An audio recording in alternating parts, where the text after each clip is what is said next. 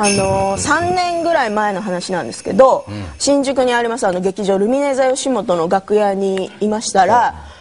あの上下赤のスウェットに赤いサンダルあのキティちゃんのサンダルに、でっかいちょっとこうお金持ちの人がかぶりそうなつばのでっかい帽子をかぶった4 5 0代のおばさんが、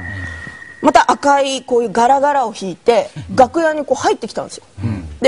おはようおはようって言いながら入ってきたんでみんなあの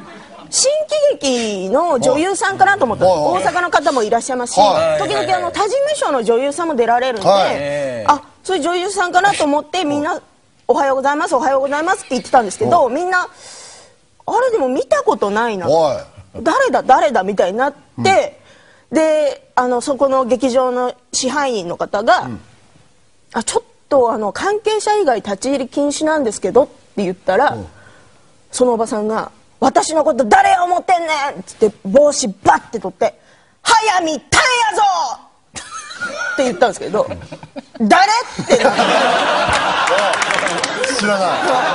みんなゾッとしてで支配人の人が「いや知りませんから出てください出てください」って言ったらずっと「キャンディーズに会いに来たキャンディーズに会いに来た」って言って出てったんです怖い怖い怖い怖い。ほんまもんじゃないですか。